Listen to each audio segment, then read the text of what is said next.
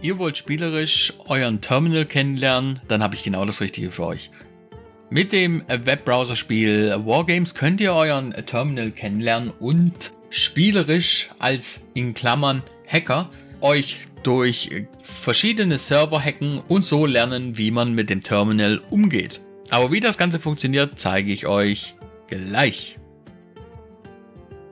Als erstes ein kleiner Tipp von mir, macht das Ganze erstmal in einer virtuellen Maschine, damit euer Originalsystem sicher ist und nicht irgendwelche komischen Überraschungen kommen. Das ist immer geboten, wenn ihr online irgendwelche Sachen macht, die eventuell nicht ganz so sicher erscheinen. Was wir als erstes brauchen, ist einen Browser. Da ist relativ egal, welchen ihr habt. Dann gehen wir auf die Internetseite over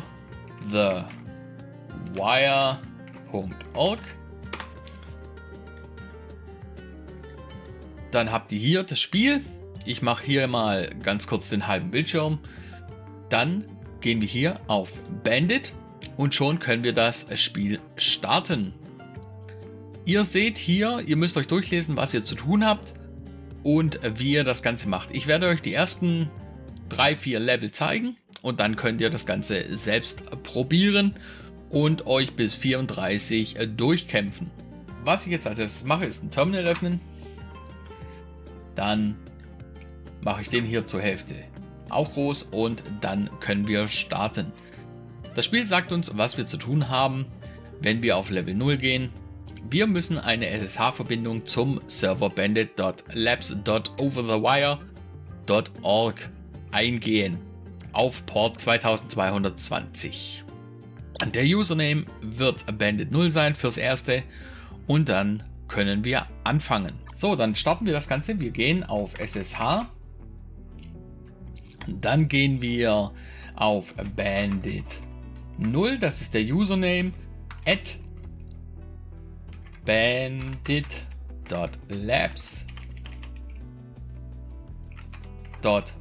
over the wire.org minus P 2220.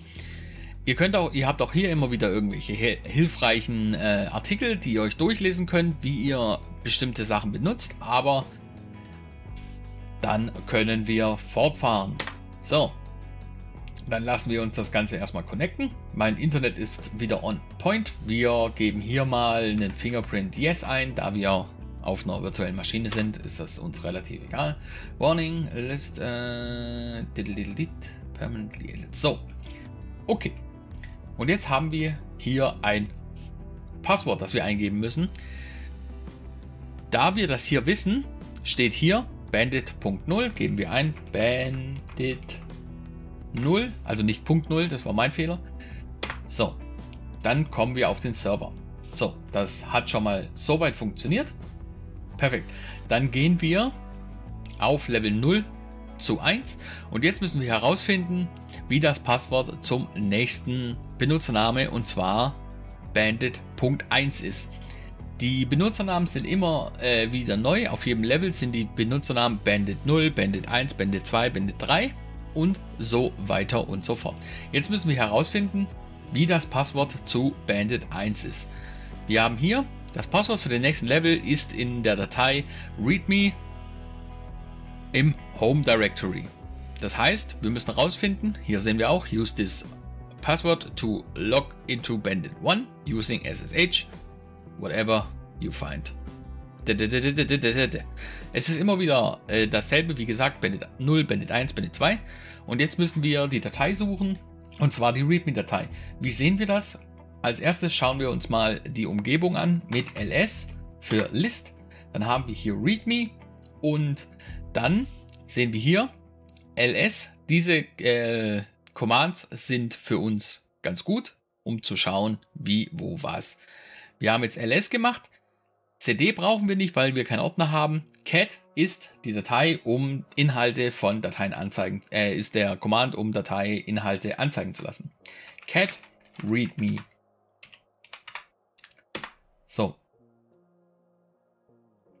Und äh, dann sehen wir hier Congratulations, your first step into the Bandit Game. Und dann haben wir hier das Passwort.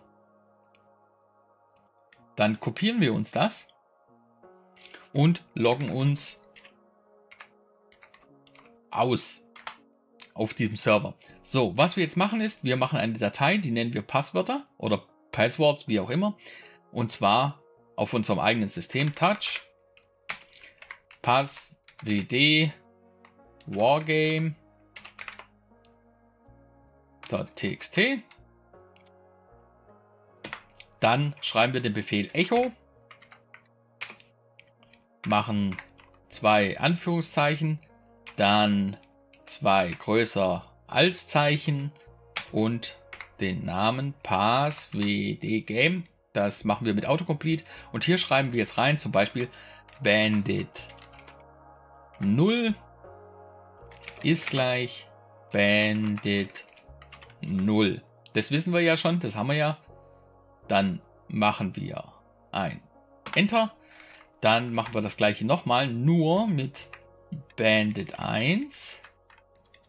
Bandit 1 und kopieren mit Shift und STRG V das rausgefundene Passwort rein und drücken wieder Enter. Und wenn wir uns jetzt die Datei passwd Game anzeigen lassen, dann haben wir hier die zwei Passwörter eingefügt. So, dann gehen wir jetzt wieder auf den Server und zwar mit dem Benutzernamen Bandit1. Enter. Jetzt fragt er uns wieder nach dem Passwort. Fügen wir ein. Sieht man jetzt nicht. Aber dann kommen wir auf den Server mit Bandit 1. Dann klicken wir von Bandit 1 auf Bandit 2. Müssen wir jetzt, the password for the next level is stored in called file locate, located in the home directory. So, dann wieder ls und wir sehen, da ist eine Datei, beziehungsweise, ja, es ist eine Datei und zwar äh, ein Minuszeichen. Wenn wir jetzt aber cut minus eingeben, wird dann nicht viel passieren. Mein Internet ist leider gerade ein bisschen äh, komisch. Aber, naja. So, wir sehen, es passiert nichts. Wir haben aber die Möglichkeit, das Ganze anders anzeigen zu lassen. Und zwar cat Schrägstrich minus. So, war, äh, wie habe ich das jetzt äh, rausgefunden? Man kann immer bei jedem Command, den ihr in der Zeile eingebt, in der, im Terminal, könnt ihr man und dann zum Beispiel cat eingeben. Und dann habt ihr das Buch, das Handbuch für cat zum Beispiel. Und dann können wir runter scrollen, wie auch immer. Mit Q kommen wir wieder raus. Wenn ihr das nicht findet, dann könnt ihr googeln hier Dashed Filenames, dann sucht ihr zum Beispiel nach Dashed Filenames und jo, äh, alles ablehnen. How use Dashed Filename in Terminal. Könnt ihr zum Beispiel hier reingehen und dann wird euch eventuell geholfen. Und hier sehen wir cat und hier sehen wir den Command, den ich eingegeben habe und somit bekommen wir auch hier unseren Output. Das ist ein ganz schönes Spiel, finde ich, um einfach die Commands zu lernen. Und da wir ja das Passwort hier oben haben, kopieren wir uns das wieder. Drücken kopieren. Ups, das war mein Fehler. So, und klicken dann wieder auf Logout. Beziehungsweise geben Logout ein. Ihr könnt auch Exit eingeben, dann kommt ihr auch wieder raus. Und jetzt machen wir wieder eine neue Zeile für das neue Passwort mit dem Echo-Befehl. Fügen das ein, nennen das Ganze Bandit 2. Enter und Cut Pass WD Wargame Text und wir haben das dritte Passwort drin. So, jetzt kommen wir zum Level 3, von Level 2 auf Level 3. Wir loggen uns schon mal wieder ein.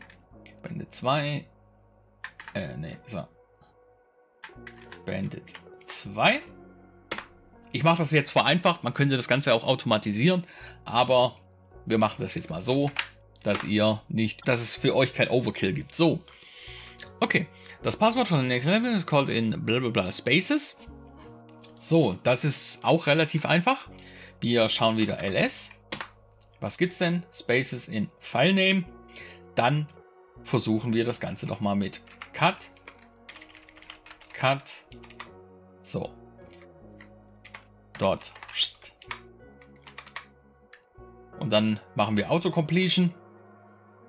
Und wir haben, das ist die äh, Schwierigkeit in diesem Befehl. Wenn ihr nämlich das Ganze so eingeben würdet, dann funktioniert das nicht, weil ihr, ja, ihr müsst die Spaces sozusagen entfernen. Und das geht im Terminal, indem man immer einen Backslash hinter das Wort beziehungsweise vor das Leerzeichen macht.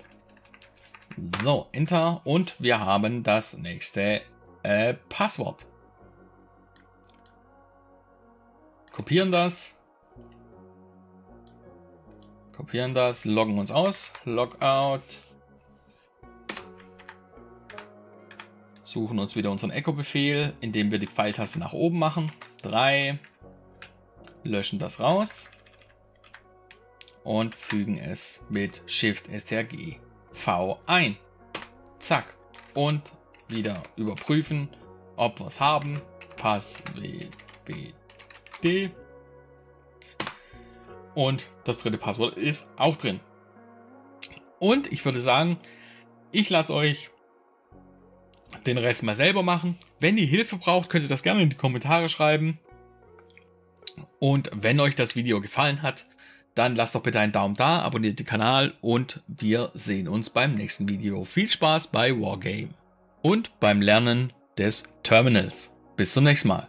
Tschüss.